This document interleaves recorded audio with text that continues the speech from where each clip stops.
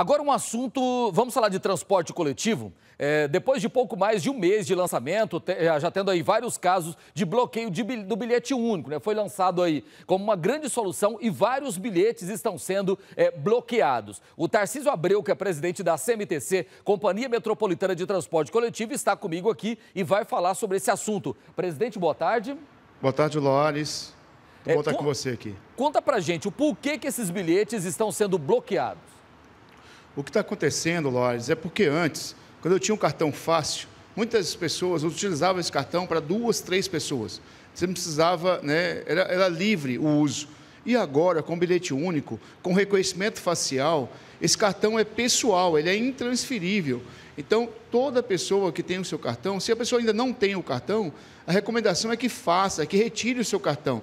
Nós estamos preparados para isso. Então a recomendação é essa: você não pode mais utilizar o mesmo cartão para duas, três pessoas, porque o cartão é pessoal, ele é intransferível e ele tem o um reconhecimento facial. Então toda vez que a pessoa fizer o uso indevido, né, que não for ele o dono do cartão, automaticamente o seu cartão será bloqueado né, por uso indevido. Isso quer dizer o seguinte: a, a pessoa passou na catraca, é, fez o reconhecimento, aí vai passar para um colega, para um amigo, aí o sistema é bloqueado. É exatamente isso. Né? Então, o primeiro uso, ele sempre autoriza o primeiro uso, mas daí em diante ele bloqueia automaticamente. E esse primeiro bloqueio fica bloqueado por sete dias. O segundo uso indevido, por 15 dias. Isso fez parte da regra do produto. Né? Estamos fazendo isso exatamente para evitar né, o volume de fraudes, o uso indevido. Né? É um trabalho de conscientização. E nós fizemos um pedido maior até de cartões, para que a gente não tenha né, falta do cartão, que a pessoa possa retirar com facilidade. Hoje, todos na loja, em todos os terminais ou pontos de venda, você pode retirar um cartão para você, né, de forma fácil. E o primeiro cartão ele é gratuito, ele não é cobrado.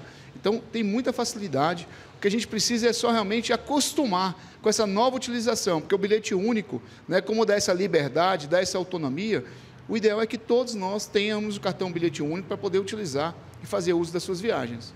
Presidente, eu vou fazer uma pergunta, não sei se ela é forte ou não, mas eu vou perguntar.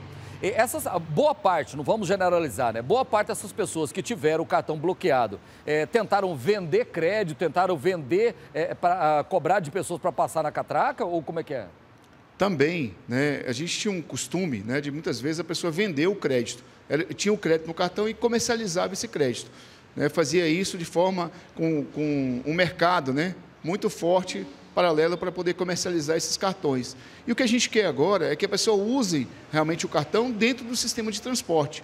Né? Por isso que a gente está realmente acompanhando, controlando, existe essa fiscalização, né? esse controle maior, e o cartão ele é intransferível. Então a gente não quer realmente que a pessoa fique nesse comércio né, que existe hoje, mas sim que faça uso do transporte. Nós estamos né, com todo esse projeto, você sabe muito bem, Alora, a gente tem conversado muito sobre isso, né, de adquirir novos ônibus, de ter mais viagem, de renovar os terminais, os, os, os abrigos também, voltar com o Citibus 3.0. Então, tudo isso faz parte de um projeto que a gente quer que as pessoas agora utilizem né, e façam realmente o uso do seu cartão bilhete único, o passe livre trabalhador que lançamos essa semana, o trabalhador agora com direito a oito viagens né, durante o dia, 240 viagens durante 30 dias, usando sábado, domingo, feriado. Então, realmente são muitos benefícios para que a gente possa incentivar os nossos usuários e as pessoas que ainda não utilizam a realmente utilizar o transporte coletivo. Quem teve o cartão bloqueado tem que fazer o que, presidente, para tentar é, retomar, para retomar esse serviço? Ele precisa ir à loja da City, do, City Pass, lá na Rua 4, e fazer o desbloqueio desse cartão, né, para que ele possa voltar a utilizar. Foi feito toda um, uma preparação das equipes para que a gente possa fazer isso com mais rapidez e agilidade. Porque realmente, a gente, quando lançou o produto, a gente imaginava que algumas pessoas, né, às vezes até por falta de informação também, poderiam utilizar de forma indevida, porque estava acostumado a utilizar dessa forma. Então a gente já estava preparado para isso e hoje né, a loja né, que faz o, o atendimento já está preparado com mais atendimento, com mais pessoas para poder dar esse suporte.